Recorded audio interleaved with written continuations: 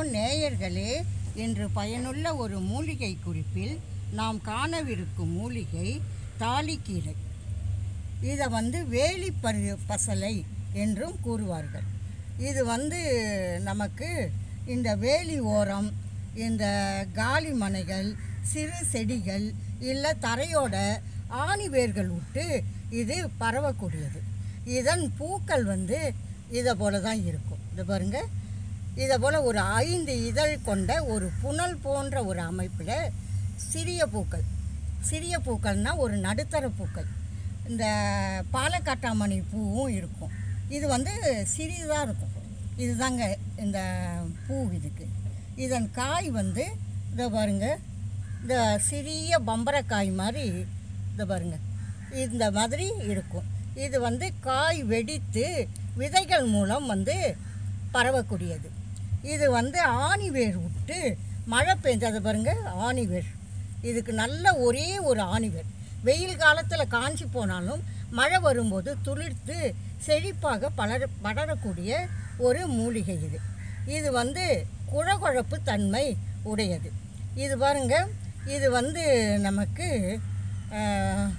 பசலை வேலி பசலை என்பதற்கு ஏற்ப இது வந்து குழகுழப்பு தன்மையோட இருக்கும். இதை வந்து நமக்கு வந்து இது பாருங்க கில்லனா வந்து லேசாக பால் வரும். லேசாக இது பாருங்க பால் கசியும் இதில். இதில் வந்து பல வகை இருக்குங்க. இதில் வந்து சிறுதாளி பெருந்தாளி நறுந்தாளி குறுந்தாளி கருந்தாளி என்று இதில் நிறைய வகைங்க இருக்குது இது இலை அமைப்பை பொறுத்தும் கொடிகள் கலரை பொறுத்தும் இலை இலைகள் வந்து பெரிது சிறிது என்று தோற்றத்துடனும் இதில் வந்து பத்துக்கும் மேற்பட்ட வகைகள் உள்ளது. இது வந்து இதை பாருங்க அதில் வந்து இதை பாருங்க இது வந்து ஒரு வகை. இதை பாருங்க நடுவில் வந்து கருப்பு விழுந்திருக்கும். இதே அமைப்பில் ப்ளைனாகவும் இருக்கும். கருப்பு இல்லாமல் ப்ளைனாகவும் இருக்கும். இதை பாருங்க இதில் வந்து வந்து கருப்பு இல்லாமல் இருக்கும். இதை பாருங்க இது வந்து அதுலேயே வந்து இதய வடிவில் இருக்கும். இதை பாருங்க. அதிலே வந்து இது வந்து இதய வடிவில் இருக்கும். இதை பெண் என்றும் அந்த கீரையை வந்து ஆண் என் இதை பெண் என்றும் இதை ஆண் கீரை என்றும் கூறுகிறார்கள்.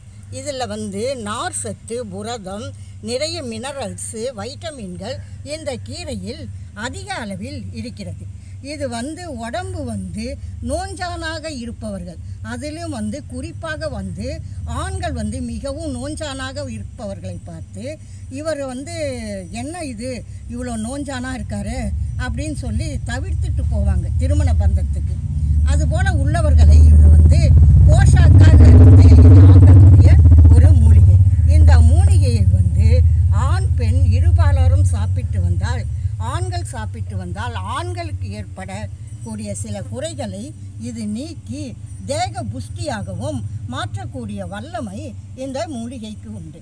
அதே சமயம் பெண்கள் இதை வந்து சாப்பிட்டு வந்தால் கர்ப்ப கோளாறுகள் நீங்கும். குழந்தை பேர் வந்து இருபாலருக்கும் குறைகளை நீக்கி குழந்தை பேரை அருளக்கூடியது. அதனால்தான் தாலி என்ற இந்த பந்தத்தில் வந்து ஒரு புனிதமான பந்தத்தில் இந்துக்கள் வந்து நம்மளை வந்து சேர்த்து வைக்கிறாங்க. அது வழியாக வந்து சந்ததிகள் குடும்பம் என்று வளர்ச்சியோடு வாழ்வதற்காக. அதனால தான் இதை வந்து தாலி அமைப்பில் இருப்பதாலும் இதை வந்து தாலிக்கீரை என்று கூறுகிறார்கள். இது வந்து ஆஸ்துமாவை முழுதும் குணப்படுத்தக்கூடியது. இந்த கீரையை ஒரு நான்கைந்து எடுத்து சுத்தம் பண்ணி நாம் காலையில் வெறும் வயிற்றில் சாப்பிட்டு வந்தால் தொடர்ந்து ஒரு நாற்பத்தெட்டு சாப் நாள் சாப்பிட்டு வந்தால் சுத்தமாக வந்து ஆஸ்துமா குணமாகும்.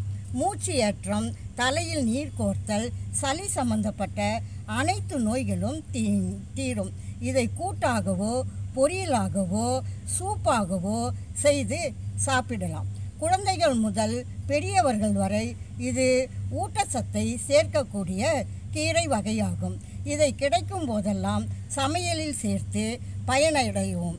நன்றி நேயர்களே இந்த வீடியோ பிடிச்சிருந்தா ஷேர் பண்ணுங்கள் சப்ஸ்கிரைப் பண்ணுங்கள் நன்றி.